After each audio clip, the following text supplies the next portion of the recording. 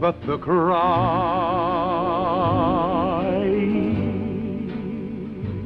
With the world poised on the brink of war, Vault-Tec is reporting a record number. Crying, but me.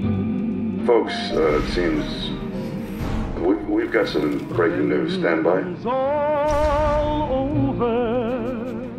No, I'm trying forget about how much I care for you. We seem to have lost contact with our affiliate stations. Stand by. We do. We do have. We do have coming in confirmed reports of nuclear detonations. My God. Our soldiers were right. War.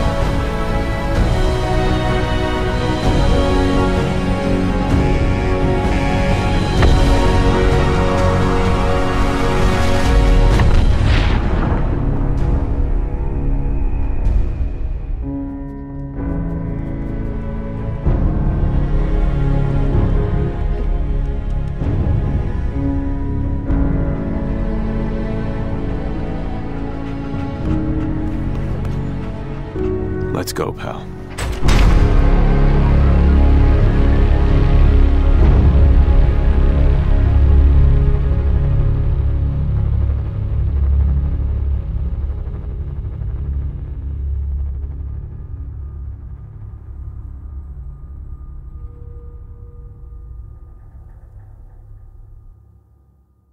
Holy shit. That was amazing. I don't know about you guys, but I am such a big Fallout fanboy and this this made my day. Like I've been waiting for a new Fallout game for 5 years now and it's finally happening. Let me know in the comment section how many of you guys are just as excited and happy to just to see this game finally come true. We do know that it is going to be set in Boston. There are a number of Boston landmarks. I'll get into those in a second here. I'm not going to be going through breaking down frame by frame of the trailer. It's just, it's so epic. We have Ron Perlman doing a voiceover. The music just sounds beautiful. The game looks amazing. Oh my god, it, I'm so happy right now. But I guess sort of getting into it, and honestly, one thing I kind of appreciate from Bethesda, this game, like the graphics don't look amazing like you would see in some other games trailers and i like that because you know normally those other game trailers they're they're in-game engine or in-engine footage and it's not the actual real thing. There's always a downgrade and this this actually looks like it's real gameplay something that we can actually play. So i appreciate that they're not trying to trick us into anything. I don't they don't need to trick us man. It's fallout 4 but the level of detail it looks like they have looks incredible. Like if you see here if we look at the wall on the top right, it's indented.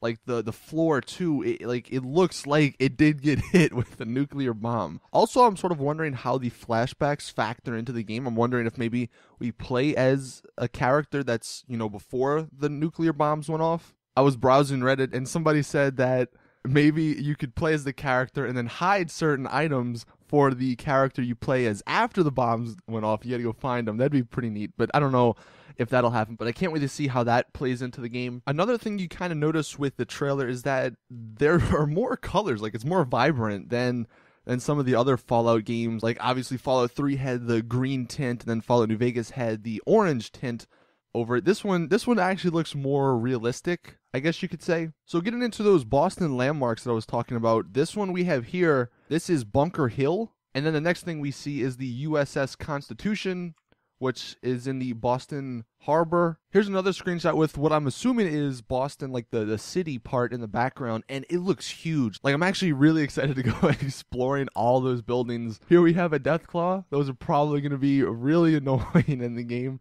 This next place here, this is another Boston landmark. This is Fenway Park, and uh, I'm actually wondering if they're gonna do something funny because in, in, Fenway Park, the the wall that's in there is called the Green Monster. So I'm wondering if maybe uh, they'll throw some some you know cool monsters in there. Another landmark we have here is Paul Revere. That's the statue, and there's the giant uh, floating blimp looking thing out in the background. I'm wondering if we'll be able to like fly that. That'd be pretty sweet. But moving on, this is apparently the State House with the Prudential Building I guess, in the background. But again, it just looks beautiful. And the city actually looks fairly big. So that's really good to see. And then finally, to end off the trailer, you got the beautiful power armor with the bobblehead on the left. And then you got the Nuka Cola poster on the right.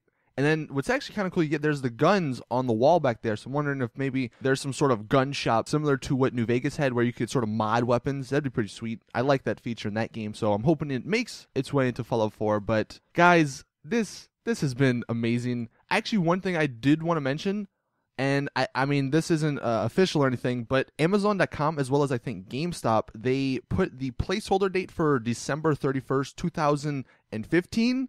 So normally, I mean, it's not going to come out on December 31st. Like I said, there's a placeholder, but it's 2015 and not like March 31st of 2016. So this game might be coming out this year, which is even crazier to think because Oh my god, it's just been so long and I cannot wait. Hope you guys are like super excited cuz I once this game comes out, I am going to be playing it nonstop. Like you're not going to see me for a while. So, it's going to be a good time. Hope you guys have a good time as well. Let me know in the comment section if you guys found anything in the trailer that I didn't talk about. But as always, it's your boy Saintsfan. I'm out. Peace. It's all over but the crowd